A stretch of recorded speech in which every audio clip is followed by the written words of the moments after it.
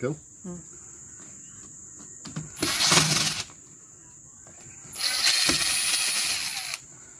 Evening all. Going to split this um, TH hive here vertically.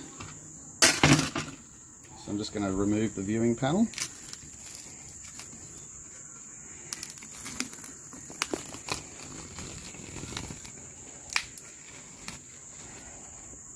I could probably go back on actually. Okay. Alright, take our knife and go down.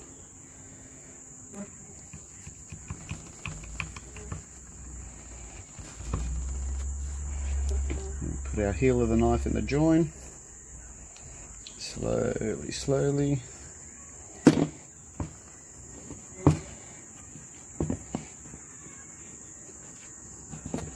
And there we go, beautiful advancing front in here.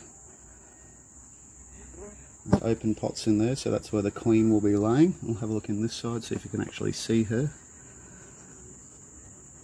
I can't see her in there, but anyway, that's good. So I'm just going to um, drain these two halves. That one's dry, I won't, won't bother with it. It's pretty dry. Okay. Uh, so what's this? This is the back. So I want the front. Put the one and a half in like so. Just wait for the bees to get out of the gap.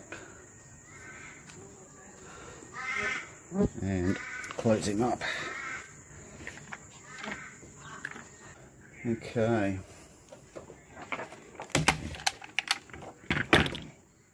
viewing panel, slide him on.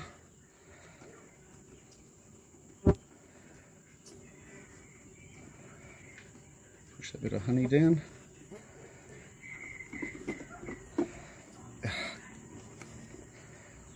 Get up there.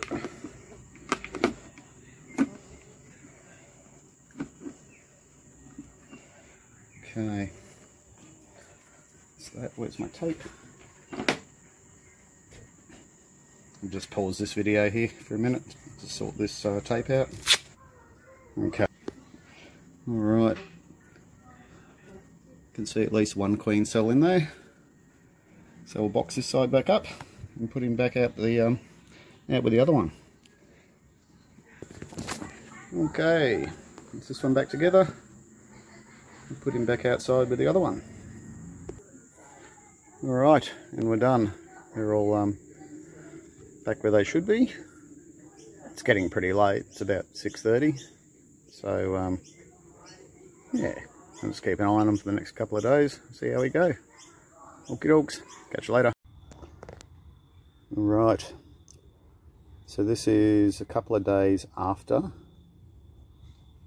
doing the split. You can see, so this is what I'm showing you now is the actual cut face of the brood. So you can see the bees have cleaned all that up perfectly. Looks fantastic. Incredibly busy. Bee numbers are great.